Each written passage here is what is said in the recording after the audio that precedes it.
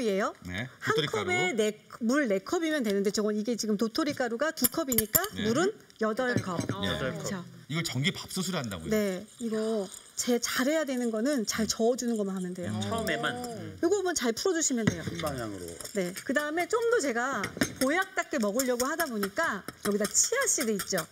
치아씨드를 반 컵이에요. 치아씨드 반 컵을 물 한 컵에 불려줄게요. 이렇게. 이렇게 해서 20분 정도 놔두면요. 이렇게 돼요. 이렇게 이렇게 불어요. 네. 자, 요거는 지금 담근 거. 지금 아직 물을 하나도 안 먹었죠. 요거는 불린 거.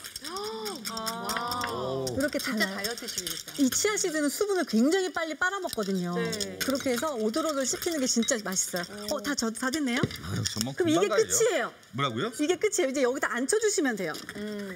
끝이라고요? 네. 어? 자, 이제 제가 할 일은 다 했고요. 이제 우리 밥솥이 할 일만 남았거든요. 이거 부어주시고요. 그냥 부어주시면 돼요. 네. 그 다음에 여기다가 소금을 요때 넣어주세요. 소금을. 네. 그리고 끝이에요. 그리고 나서 이거 죽기능으로 한 시간 하던가요. 나는 좀 성질이 급해서 빨리 하고 싶다. 음. 그러면은 그냥 어, 찜기능 있죠. 찜기능. 찜기능으로 40분 하면 돼요. 안 넣었어요. 치아씨드는 지금 넣는 게 아니에요. 아, 아니에요? 네, 네. 껴들지 마요. 저렇게 남편들은 꼭 모르면서 저렇게 꽉 하나씩 한다. 아니 얻어먹기나 하지. 내가 내가 가슴이 확 내렸네 내가 내가. 자, 그래서 예. 이렇게 죽기능 1시간이나 찜 기능 40분 하면 이렇게 오 돼요. 이렇게. 네.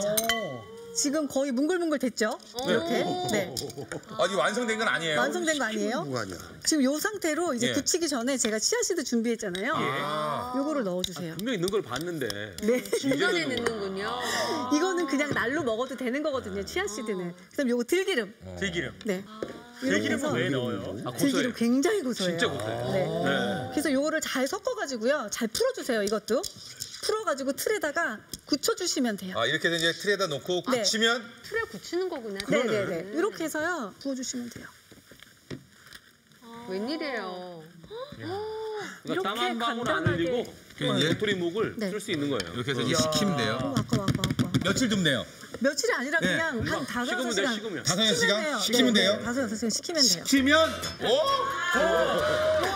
단면 단면을 원해요.